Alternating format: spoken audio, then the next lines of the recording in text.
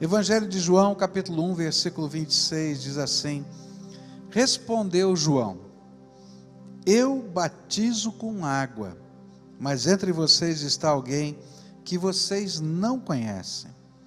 Ele é aquele que vem depois de mim, e não sou digno de desamarrar as correias de suas sandálias. No dia seguinte, João viu Jesus aproximando-se e disse: Vejam, é o Cordeiro de Deus que tira o pecado do mundo. Este é aquele a quem eu me referi quando disse: Vem depois de mim um homem que é superior a mim, porque já existia antes de mim.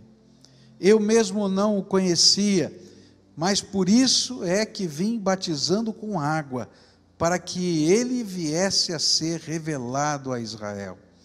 E então João deu o seguinte testemunho: Eu vi o Espírito descer dos céus como pomba e permanecer sobre ele. Eu não o teria reconhecido se aquele que me enviou para batizar com água não me tivesse dito: Aquele sobre quem você vir o Espírito descer e permanecer, esse é o que batiza com o Espírito Santo. Eu vi e testifico que este é o Filho de Deus.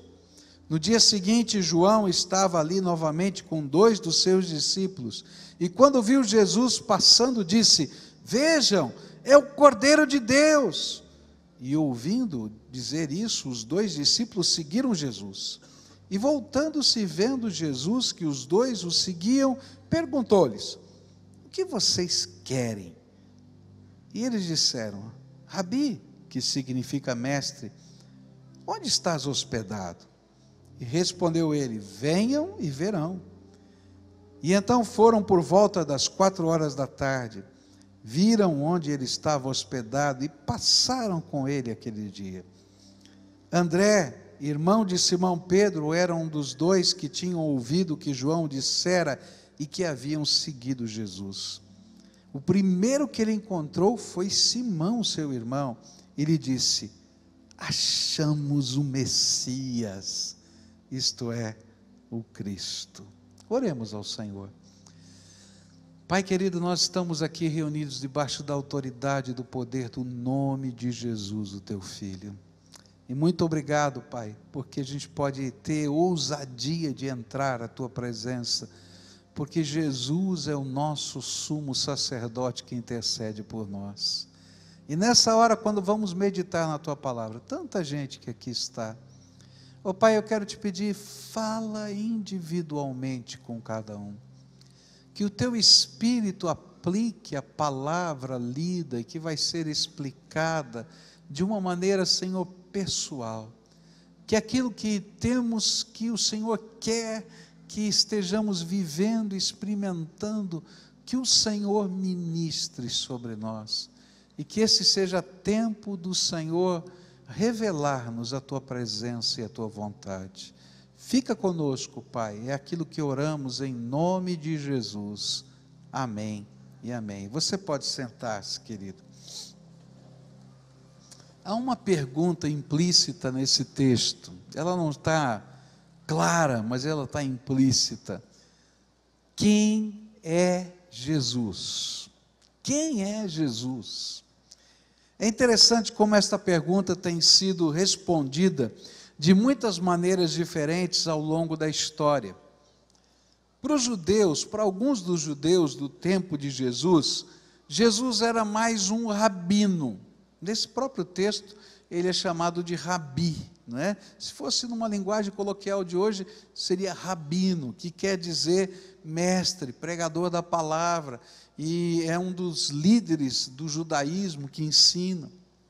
Mas para outros judeus da época de Jesus, Jesus era um rabino herege.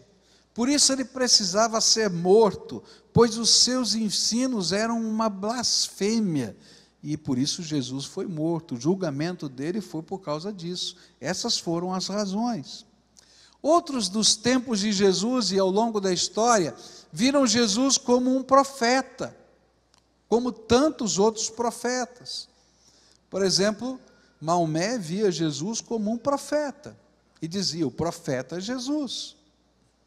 Outros veem Jesus hoje como um filósofo, um pensador, alguém que tem é, verdades morais que a gente pode é, ouvir, mas não necessariamente ser o Filho de Deus, o Salvador do mundo.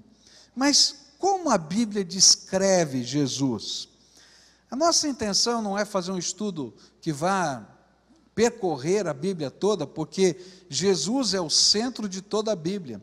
O Velho Testamento promete a vinda de Jesus.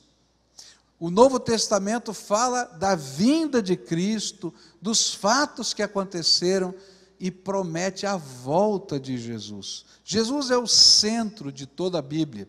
As revelações do Apocalipse são revelações do Jesus vivo, ressuscitado. Mas hoje eu gostaria de tentar entender quem é Jesus à luz da pregação de João Batista. O que que Jesus, ou melhor, o que que João Batista estava ensinando a respeito de Jesus? Quem é Jesus aos olhos do, do Novo Testamento, do Evangelho de João, da pessoa de João Batista? Primeira resposta que a gente vai encontrar, e é nela que eu vou me fixar nessa manhã, à noite eu vou continuar estudando esse texto, é, são os versículos 29, 35 e 36, onde diz assim a palavra de Deus. No dia seguinte, João viu Jesus aproximando-se e disse: Vejam, é o Cordeiro de Deus que tira o pecado do mundo.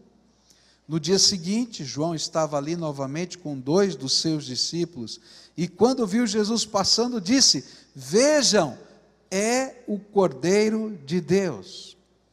Para João, Jesus era o Cordeiro de Deus que tira o pecado do mundo. Mas o que, que isso significa?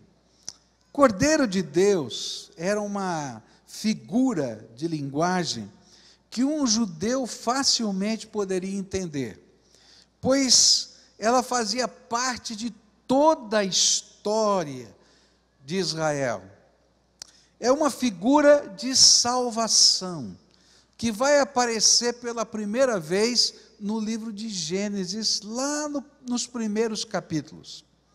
Em Gênesis 3, acontece uma tragédia na humanidade. O pecado entra na nossa história. Adão e Eva pecam.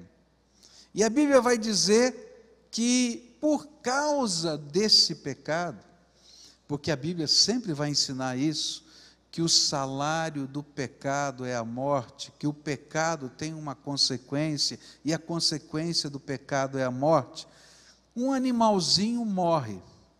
Deus mesmo toma as peles desse animalzinho e faz vestimentas para Adão e Eva.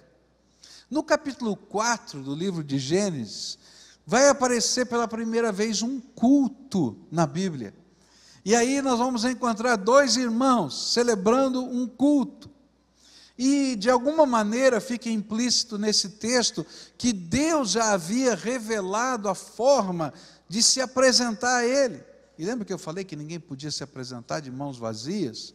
E essas mãos vazias tinham a ver com o Cordeiro de Deus que tira o pecado. E aí então Abel ofereceu uma das suas ovelhas em sacrifício.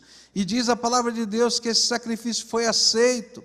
Mas Abel fez do jeito dele e ofereceu o fruto da sua terra, na verdade, o melhor da sua terra.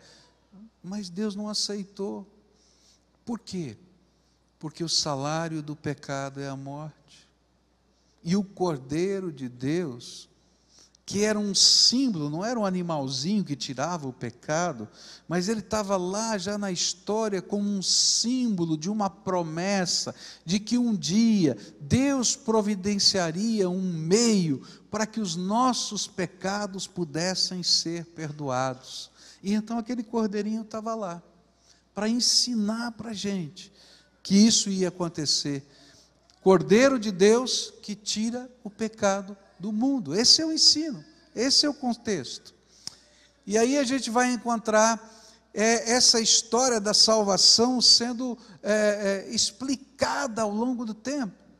E a gente vai encontrar, por exemplo, a história de Abraão e de Isaac. todo judeu conhecia a história de Abraão e Isaac. Todo mundo sabia. E um dia, Deus dá uma ordem muito estranha para Abraão. E essa ordem dada para Abraão, ela na verdade era uma prevenção a outro tipo de pecado que estaria acontecendo no meio daquela terra no futuro. E essa, essa ordem era que ele pegasse Isaac e levasse até uma montanha, exatamente a mesma montanha onde o templo de Israel seria construído muitos anos no futuro, e sacrificasse o seu filho para Deus. Isso era uma prática que acontecia em vários cultos naquela região e Deus abominava essa prática. Por isso ele queria ensinar uma lição para Abraão, não queria que ele sacrificasse o seu filho. E ele vai então levando o seu filho, o seu filho já era grandinho o suficiente para entender, e o filho vai conversando com o pai e diz assim: Papai, eu estou vendo aqui o cutelo, estou vendo aqui a lenha para o fogo, mas onde está o cordeiro? E aí Abraão dizia para ele: Deus proverá. Deus proverá. Chegam em cima da montanha, lembra da história? Amarram, o pai amarra Isaac em cima do altar. E ele pergunta: onde está o cordeiro? Deus proverá. E quando ele levanta o cutelo, Deus grita do céu: Pode parar, Abraão. Eu não quero que você faça isso com o seu filho, nem que os seus descendentes nunca mais pensem em fazer isso com seus filhos. Tem ali enrolado nos arbustos e preso pelos chifres um cordeiro, que eu providenciei você vai colocá-lo sobre o altar no lugar do teu filho. Um judeu podia entender muito bem o que significa o Cordeiro de Deus que tira o pecado do mundo, porque esse Cordeiro não pode ser providenciado por nós, ele é providência de Deus. O Deus que tudo provê prepara aquilo e aquele que vai tirar a nossa condição de pecador e nos vai, nos vai permitir entrar na presença de Deus. E aquele animalzinho então morre no lugar de Isaac. Não que ele tivesse poder para perdoar os pecados de Isaac, mas ele era um símbolo daquilo que Deus providenciaria. Sabe por quê? Porque eu e você somos pecadores. Olha, diz para quem está do teu lado: pecador. Agora você escuta, Pode falar, dá o troco. Pecador. Não tem uma pessoa na face da terra que não seja pecador. E não tem uma pessoa na face da terra que não precise que Jesus seja o Cordeiro de Deus que tire o seu pecado. Não tem jeito. Não tem jeito. Cordeiro de Deus que tira o pecado do mundo era alguma coisa que o judeu podia entender. Por isso, na história de Israel tem várias cenas que marcam o sentido disso. Uma das cenas mais tremendas é a cena de quando os judeus são livres, são salvos da escravidão do Egito. Você lembra da história? Moisés anuncia as pragas. E a última praga era uma praga terrível. Era a morte de todo primogênito. Todo primogênito, fosse de animais, fosse de pessoas, morreria naquela noite, pois o anjo do juízo de Deus passaria por sobre a terra. É isso que a Bíblia está dizendo. Esse era o contexto. Mas Deus deu uma ordem tremenda. Falou assim: você vai pegar um cordeiro, esse cordeiro vai chamar Cordeiro da Páscoa. Você vai sacrificar esse cordeiro, vai pegar o sangue desse cordeiro e vai pintar o umbral da porta da sua casa. E todo mundo que estiver dentro da casa fazendo a refeição da Páscoa em adoração a mim, em obediência ao que eu estou ensinando. O anjo do juízo vai passar por cima da casa. A palavra Páscoa na língua hebraica significa saltar, pular, passar por cima. Um judeu podia entender o que significava o Cordeiro de Deus que tira o pecado do mundo, o Cordeiro de Deus que simboliza a Páscoa na nossa vida, porque quando o sangue de Jesus, que foi vertido lá na cruz do Calvário, ele lavou o meu coração, lavou a minha alma, ele deixou dentro de nós uma marca preciosa, a marca da graça. E no dia do juízo, quando o anjo do juízo de Deus vier para julgar toda a terra, julgar cada ser humano, e quando ele começar a fazer essa separação, a Bíblia diz que ele vai saltar, ele vai pular, ele vai passar por cima daqueles que têm a marca da graça de Deus na sua vida. Você pode entender que coisa tremenda é ser lavado no sangue do Cordeiro de Deus que tira o pecado do mundo. É tremendo. A palavra de Deus vai, vai, vai nos ensinar isso, e os teólogos chamam isso de justificação. O que, que significa isso? Você lembra, né? O salário do pecado é a morte. E você é o quê? Ah, não entendeu. Fala para ele. Pecador. Fala, pode falar. Pecador. Vocês não estão falando, não, não acreditaram. Fala de novo. Pecador. Você é pecador, eu sou pecador. Todos nós somos pecadores. Eu estava num programa de televisão anos atrás, discutindo uh, com um grupo é, pró-homossexualismo, representante do, do homossexualismo, e essa pessoa muito brava disse assim: Vocês religiosos nos chamam de pecadores. Eu disse: Chamam mesmo.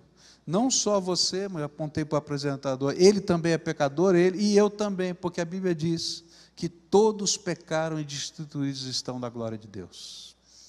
E só tem um jeito da gente resolver esse problema: Jesus. Jesus é o Cordeiro de Deus que tira o pecado do mundo. Ele marca a nossa vida com o sinal da graça, a ponto do juízo de Deus não poder passar, ele não vai pegar, porque o anjo do juízo, do juízo, assim como aconteceu na Páscoa, vai saltar. Olha só o que o apóstolo Paulo fala a respeito disso em 1 Coríntios 5, versículos 7 e 8.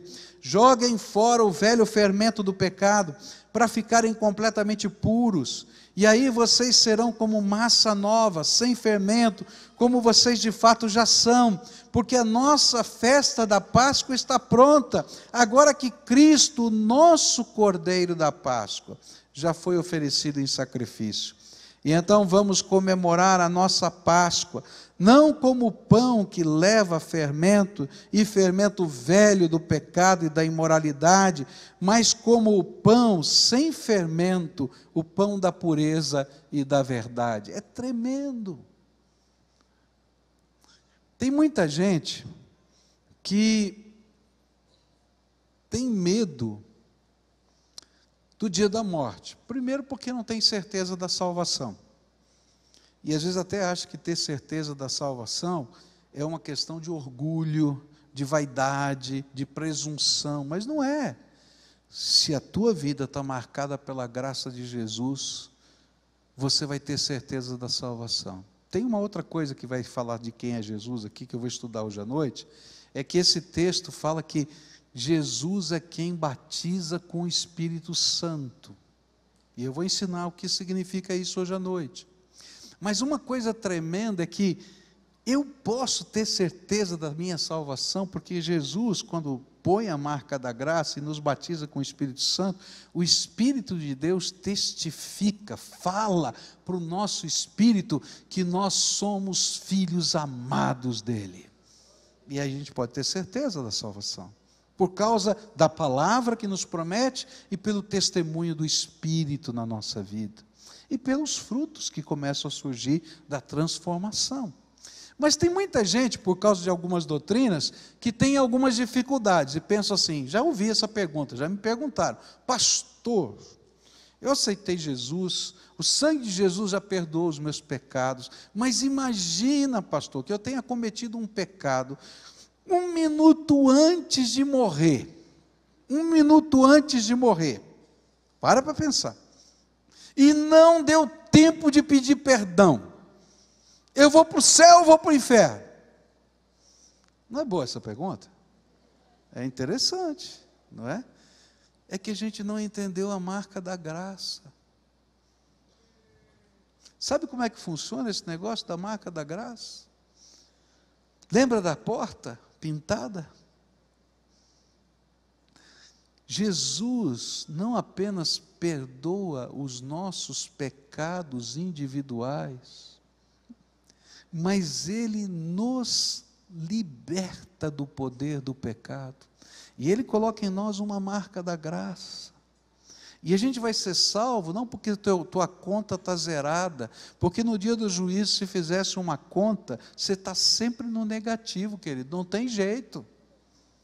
Você vai ser salvo, porque o sangue de Jesus, do Cordeiro de Deus, te perdoou, não apenas de pecados individuais, mas colocou em você a marca da graça, e você, sem merecer, foi justificado. Diz assim: Eu declaro você justo porque Jesus morreu na cruz por você. Dá para entender? A grandeza disso. Ah, então já que é assim, eu vou ficar pecando à vontade. Aí Paulo diz assim: não, de jeito nenhum.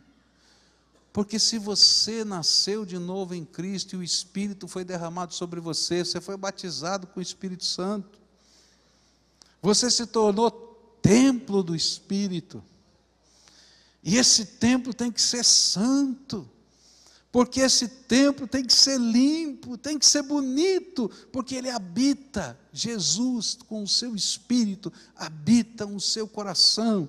E sabe, quando a gente começa a viver de uma maneira errada, a tristeza da nossa alma cresce, porque eu tenho uma nova natureza, eu tenho a marca da graça. Deu para entender?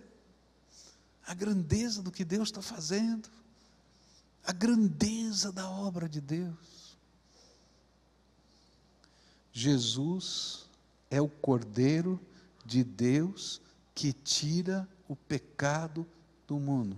Diz de novo, você é um pecador, fala. Você não está falando sério, fala logo aí. Você é um pecador. Agora, o mais importante, Jesus é o Cordeiro de Deus que tira o pecado do mundo. E aí ele vem, louvado seja o Senhor, né? Pode aplaudir o Senhor. É Ele que faz essa obra linda, linda. Essa obra tem coisas que são individuais. Às vezes a gente tem marcas na nossa vida, marcas que a gente não consegue lidar com elas, marcas dos nossos próprios pecados. E elas são tão fortes porque a gente não consegue se perdoar. A gente não consegue. A gente sabe que aquilo é tão ruim que a gente não consegue se perdoar. E aí o Espírito de Deus, lembra que a gente falou que o Espírito, nós somos ser batizados com o Espírito? O Espírito de Deus diz assim: filho, você já foi lavado. No passado você já você era assim, mas agora você não é mais. Eu não apenas limpei, mas eu coloquei em você uma nova natureza. Eu estou te dando uma nova vida. E aí a Bíblia diz assim: esquecendo as coisas que para trás ficam, eu vou prosseguir para o alvo da soberana vocação em Cristo Jesus, porque agora eu tenho uma nova vida. Só o Cordeiro de Deus faz isso. Mais ninguém, mais ninguém. Aí tem coisas que eu preciso ser liberto. Olha que coisa tremenda, porque muitos de nós temos a sensação que se a gente resolvesse o problema de um pecado, um pecado que a gente repete várias vezes, tá?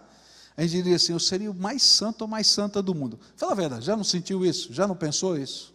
Né? Olha, eu tenho esse problema aqui, se eu resolvesse. Querido, você esqueceu. Fala para ele de novo. Você é pecador, fala. Ah, vocês não estão acreditando nesse negócio. Fala, fala sério.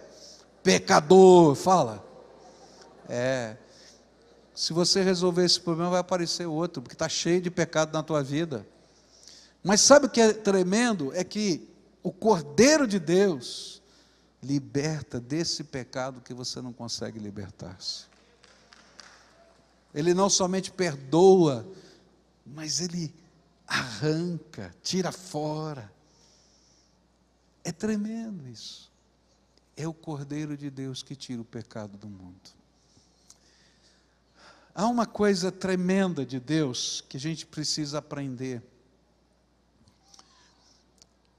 Cordeiro de Deus só faz isso quando a gente invoca Jesus para ser o Senhor e Salvador da nossa vida.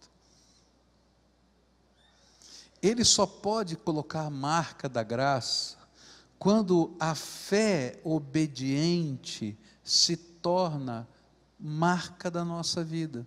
Olha que coisa tremenda. Nos exemplos que eu dei aqui do Velho Testamento, entre tantos outros que existem, tá? Abel foi aceito por Deus porque ofereceu o sacrifício que Deus tinha mandado. Caim foi rejeitado porque, apesar de ter entregue o melhor do seu trabalho, não era aquilo que Deus tinha colocado. Abraão recebeu o cordeiro da providência porque ele subiu naquele monte e fez tudo quanto Deus havia mandado, e o cordeiro da providência veio. Aqueles homens do tempo de Moisés foram salvos daquela última praga, porque pintaram o umbral da porta com o sangue do cordeiro.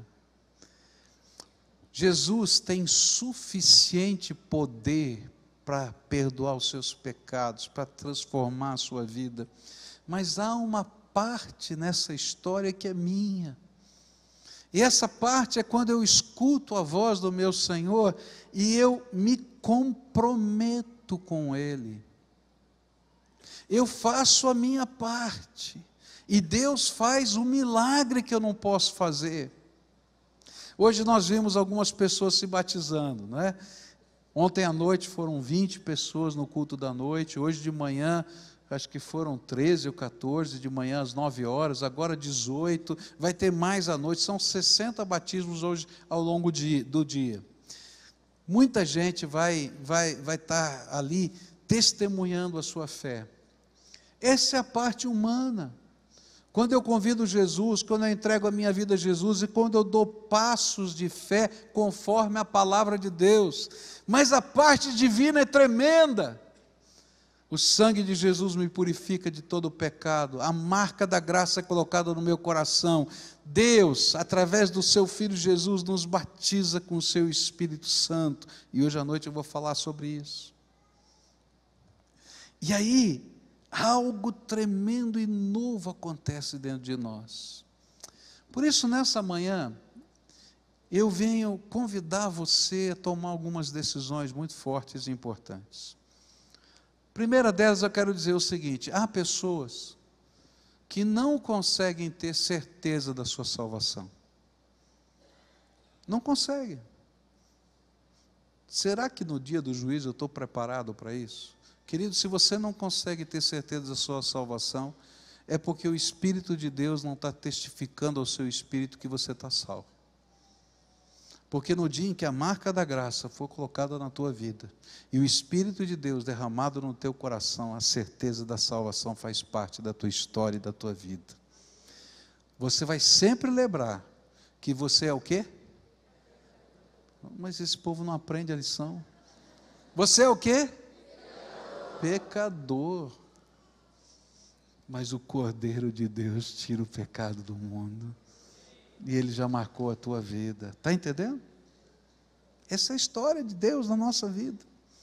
Então, se você não tem certeza da salvação, você precisa fazer uma entrega da sua vida para Jesus. E nessa entrega, queridos, a gente vai ter que aprender uma grande lição Muitas vezes a gente quer entregar a vida para Jesus, mas a gente quer continuar dirigindo a nossa vida. E eu digo, tá bom, Jesus, legal, bacana o que o Senhor fez, mas eu, eu sou dono do meu nariz, eu vou viver do meu jeito. Então você nunca entrega. Porque a entrega é a gente se submeter e deixar Jesus ser o Senhor da nossa vida. Dali em diante, você vai deixar Jesus ensinar você a viver do jeito dele. Você vai pegar a palavra dele e vai tentar experimentar na sua vida aqueles processos. Agora você lembra que você vai continuar o quê? Pecador. Ah, mas eu recebo Jesus e continuo pecador? Continua. Só que vai acontecer uma mudança de natureza. Se antes o pecado fazia parte da tua vida, assim como o porco não, não liga com a sujeira e não lhe incomoda, Agora, lavado no sangue de Jesus, você vai ser como uma pomba. Se você sujar a asa da pomba, ela vai procurar água, bater a asa, porque ela não consegue voar se não tiver limpa. E aí a vida da gente começa a ser um constante buscar crescer na graça de Deus. Eu não me conformo em permanecer do jeito que eu estou. Eu quero que Jesus me ajude a transformar-me cada dia. Hoje, Jesus quer entrar no seu coração. Hoje Jesus quer começar uma obra diferente. Hoje Ele quer batizar você com o Espírito Santo. Eu vou explicar o que é isso hoje à noite.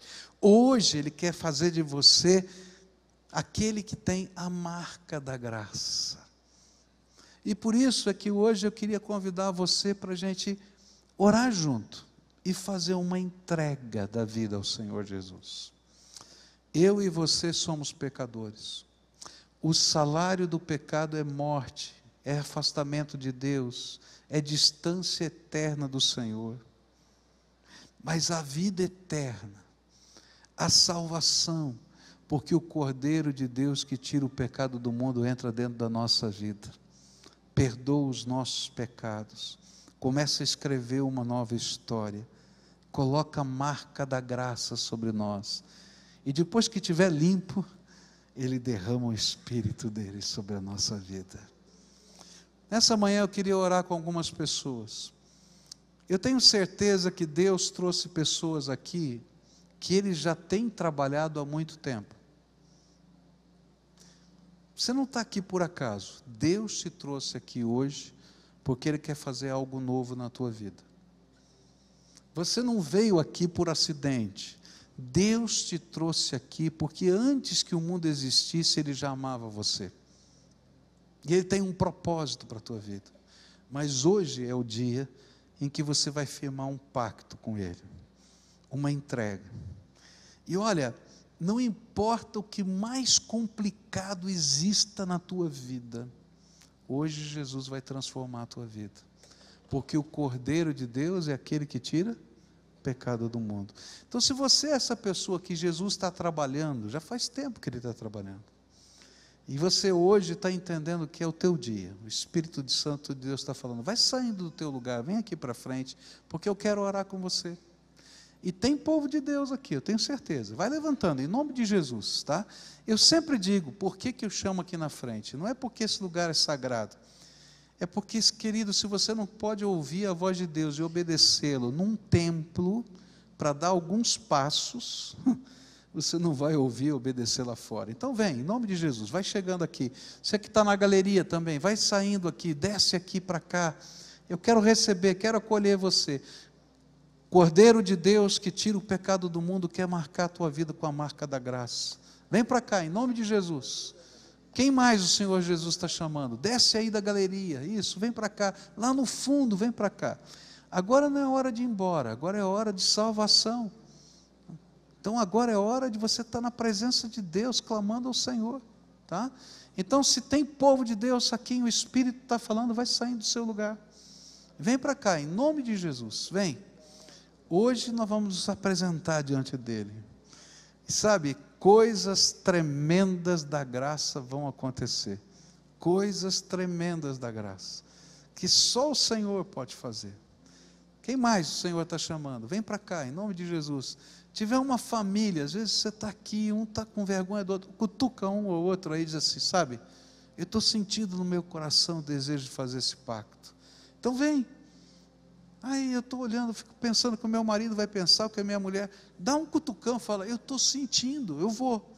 Aí os dois, você vai ver, os dois vão levantar juntos, porque o Senhor fala, está falando a mesma coisa no coração do outro. Então vem, em nome de Jesus, pode vir, se o Espírito Santo está falando com você, vem e nós vamos nos apresentar diante de Deus. Agora, eu não quero ninguém sozinho aqui, tá? Tem pouca gente de coletinho vermelho aqui agora, tá? Então agora eu quero pedir ajuda para você, meu irmão, tá? Eu queria que você viesse dar um abraço de irmão nessa pessoa que está aqui. Acolher, só isso, acolher. Ó. Você vai só dizer, estou aqui para acolher você. Vem aqui me ajudar. Algumas pessoas vêm aqui, tá? Mas eu não quero ninguém sozinho, não, tá bom? Vamos ver aqui. Pode vir me ajudar aqui. Vai chegando perto para ser acolhido aqui. Me dá um sinalzinho. Quem aqui não veio ninguém? Aqui não veio ninguém. Nesse canto todinho aqui não veio ninguém, tá? Então vem aqui e acolhe, tá? Tem um casal aqui, tem uma, uma jovem aqui, tem uma senhora aqui, tem vários aqui. Pede licença aqui, vai, vem por aqui, ó, entra pela frente assim, que você consegue enxergar mais do que se você ficar lá atrás. Vem para cá, isso. Tem muita gente sozinha aqui, vem aqui. Acolhe aqui esse povo, faz favor, ó, tem gente aqui, aqui. Isso, aqui tem gente, né? Aqui tem esse, esse casal, não, essa mãe com a filha, é isso? É prima, ah, que legal. Então aqui, vem aqui alguém ficar com elas aqui.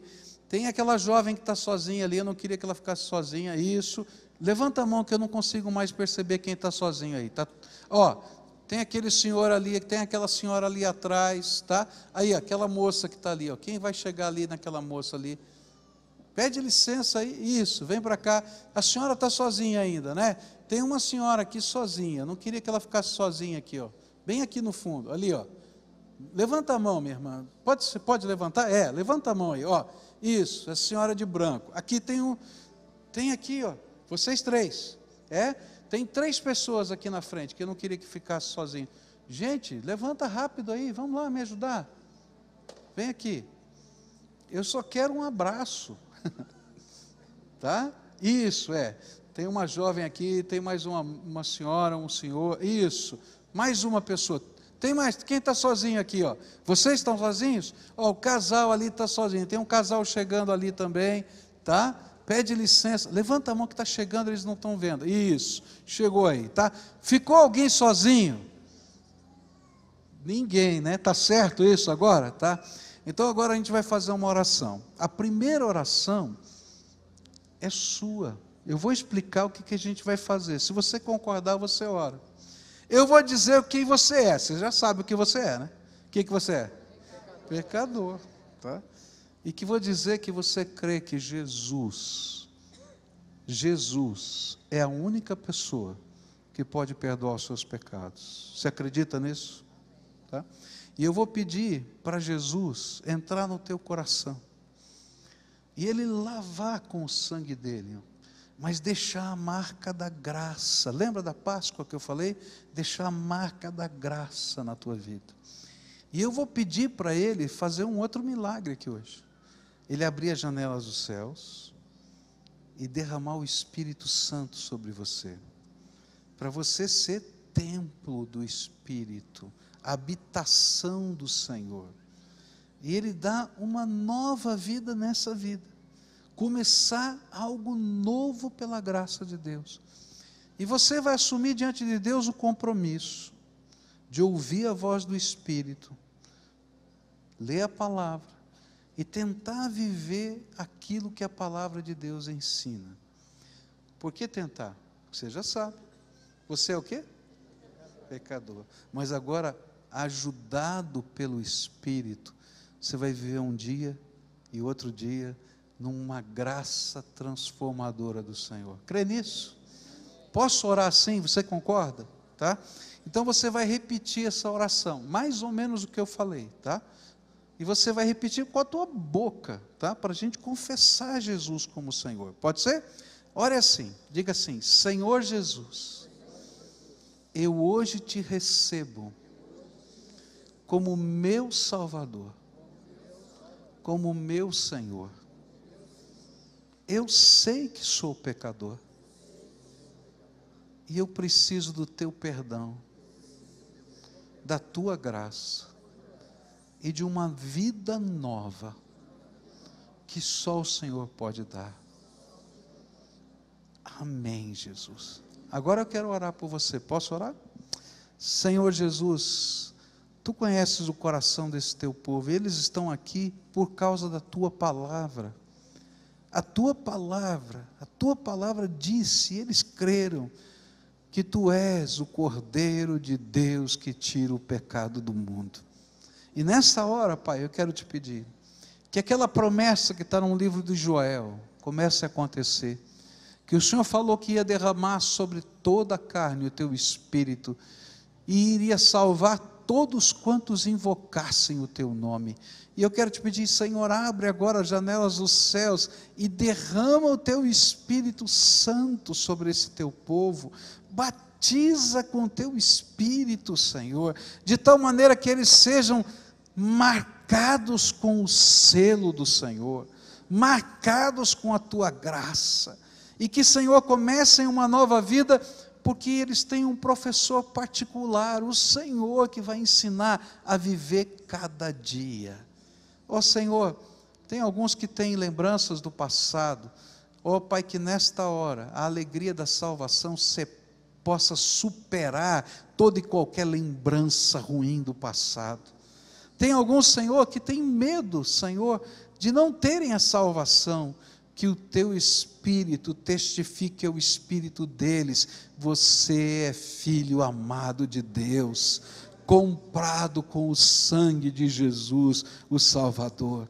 Pai, que o Senhor os abrace, que o Senhor os acolha e que a graça do Senhor os acompanhe.